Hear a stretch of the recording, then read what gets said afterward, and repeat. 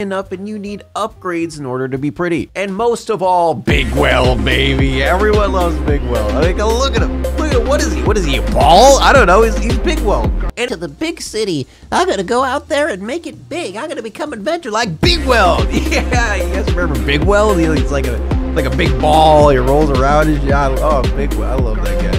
Boots with the metal, and a so-called idol Big Bigweld. Remember? Remember Big Bigweld? The big ball guy? He's like rolling around shit. Oh, I love that guy. And how horrific it truly is as we start to understand how severe things truly are. After Big Weld left, you know, the big ball guy, he's like rolling around and shit. He's just like big old ball. Like, I love that guy. His solution to this is going to a dance because, you know, Big Weld's there, and we all love Bigweld. He's, dude, I wonder what he dances like. You know, he's just a big ball. Like, what's a dance? Like, what, what does he do? Does he roll around? He dance? After they escape, she ends up taking them to where Big Weld is, and we find out that Bigweld was actually just a big ball the whole time. I will see you on the next episode of Bigweld, baby. Everyone loves Big Weld. I mean, look at him. Look at him. What is he? What is he, a ball? I don't know. He's, he's Bigweld.